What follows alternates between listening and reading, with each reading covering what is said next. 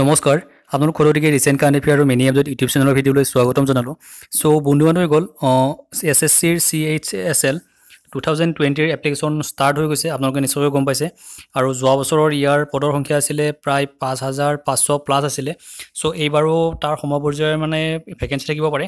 চ' আপোনালোকে চাওক এই পদবোৰৰ কাৰণে S S C C H S L two thousand টুৱেণ্টিৰ কাৰণে এপ্লাই ছয় তাৰিখৰ পৰা ষ্টাৰ্ট হৈ গৈছে আৰু ডিচেম্বৰৰ পোন্ধৰ তাৰিখলৈকে থাকিব। চ' বন্ধুসকল এতিয়া চাওক অনলাইন এপ্লিকেশ্যনটো কৰি থাকোঁতে সময়তে আপোনালোকে এটা এইবাৰ এটা চেঞ্জ এটা অলপ অকণমান চেঞ্জ হৈছে সেই চেঞ্জটোৰ বিষয়ে আপোনালোকে ক'ব লাগিব। যদিহে আপোনালোকে এইখিনি ফিল আপ কৰোঁতে সাৱ- সাৱধান নহয় তেনেহ'লে হয়তো আপোনালোকৰ এপ্লিকেশ্যনটো কেঞ্চেল কৰি দিব পাৰে। চ' এই ভিডিঅ'টোত গোটেইখিনি কথা সবিশেষভাৱে আলোচনা কৰিম। চ' আপোনালোকে ভিডিঅ'টো শেষলৈকে চাওক। তাৰ আগতে যদি আপোনালোকে চেনেলটো ছাবস্ক্ৰাইব কৰি লোৱা নাই ছাবস্ক্ৰাইব কৰি ল'ব আৰু বন্ধু বান্ধৱীসকলত শ্বেয়াৰ কৰিবলৈ নাপাহৰিব। চ' বন্ধু বান্ধৱীসকল এইখন নটিচ এই নটিচখন এছ এছ চিৰ ফালৰ পৰা আহিছিলে। এই নটিচখন আপোনালোকে চাব পাৰে যে C H S L two thousand টুৱেণ্টিৰ কাৰণে আপোনালোকৰ মানে ৰিগাৰ্ডিং হয়। চ' ইয়াত চাওক এপ্লিকেণ্টবোৰক কৈছে যে আপোনালোকৰ ফটোগ্ৰাফৰ চাইজটো বিছৰ পৰা পঞ্চাছ কেবিৰ ভিতৰত হ'ব লাগিব। এইটো ডাঙৰ কথা নহয় এইটো আপোনালোকে গম পায়।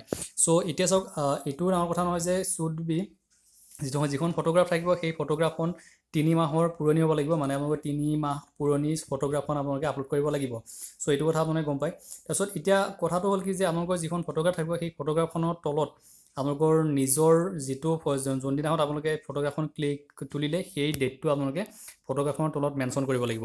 চ' এইটো ইয়াত কোৱা আছে the date on which the photograph has been taken should be clearly printed on the photograph মানে আপোনালোকে যিখন ফটোগ্ৰাফ আপলোড কৰিব সেই ফটোগ্ৰাফখনত আপোনালোকৰ কোনদিনাখন ফটোগ্ৰাফ তুলিলে সেইটো আপোনালোকে ইয়াত লিখিব লাগিব। আৰু যিটো আপোনালোকে এপ্লিকেশ্যন কৰি থাকোঁতে এটা আপোনালোকে অপশ্যন এটা পায়। সেই অপশ্যনটোত আপোনালোকে ভৰাব লাগে যে কোনদিনাখন ফটোখন ক্লিক কৰিছিলে আৰু সেই ডেটটো আৰু আপোনালোকৰ ফটোখনৰ ডেটটো মেটচ হ'ব লাগিব। আৰু আপোনালোকে ফটোখন তিনি মাহৰ পুৰণি নিদিব কাৰণ চাওক আকৌ আগতে two thousand C H S এলৰ যিসকলে আগতে ৰেজিষ্ট্ৰেশ্যন কৰি লৈছে তেওঁলোকে গম পায়। তেওঁলোকে ফটো আগতে আপলোড কৰিছিলে। যদি সেই একেখন ফটোৱে আপলোড কৰি দিয়ে তেনেহ'লে এইটো তেওঁলোকে গম পাই যাব। চ' আপোনালোকে কি কৰক যিহেতু যিসকলে আগতে কৰিছিলে তেওঁলোকে এইবাৰ কি কৰক তিনি মাহৰ পুৰণি মানে তিনি মাহৰ ৰিচেণ্ট তিনি মাহৰ ভিতৰত আপোনালোকে ফটোবোৰ আপলোড কৰিব লাগিব। চ' এইটো যদি নকৰে আপোনালোকৰ এপ্লিকেশ্যনবোৰ কেঞ্চেল হৈ যাব পাৰে। আৰু এইটো কথা মহামান্য চুপ্ৰিম কোৰ্টৰ ফালৰ পৰা এই ইনষ্ট্ৰাকশ্যনটো দিয়া থকা বুলি কৈছে। চ' যদিহে তেনেকুৱা আপোনালোকে ভুল কৰে তেনেহ'লে আপোনালোকৰ কেণ্ডিডেটছাৰটো ইয়াত ৰিজেক্ট কৰি দিব বুলি কৈছে। চ' এইখিনি আছিল আপোনালোকৰ কথাটো ক'বৰ কাৰণে এটা বহুতেই ইম্পৰ্টেণ্ট কথা। চ' আপোনালোকে যদিহে এপ্লাই কৰা নাই এইখিনি কথা মন দি মন দি কেনে এপ্লিকেশ্যনটো কৰিবলৈ যত্ন কৰিব।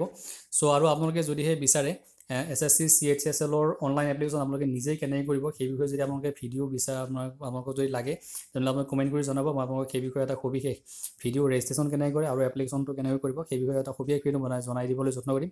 চ' আপোনালোকে কমেণ্ট কৰি জনাব লাগিব কি নালাগে। চ' যদিহে ভিডিঅ' ভাল পাইছে লাইক কৰিব আৰু বন্ধু বান্ধৱীৰ লগত শ্বেয়াৰ কৰিবলৈ নাপাহৰিব। আৰু আগলৈ এনেধৰণৰ ভিডিঅ' পাই থাকিবৰ কাৰণে আমি যেতিয়া ভিডিঅ' আপলোড কৰোঁ আমি চাকৰি ৰিলেটেড ভিডিঅ'বোৰ আপলোড কৰি থাকোঁ। চ' আপোনালোকে চেনেলটো ছাবস্ক্ৰাইব কৰি ল'ব পাৰে। চ' আজিলৈ ভিডিঅ'টো ইমানতে সমাপ্ত কৰিছোঁ। আপোনালোকৰ দিনবোৰ শুভক। থেংক ইউ ধন্যবাদ।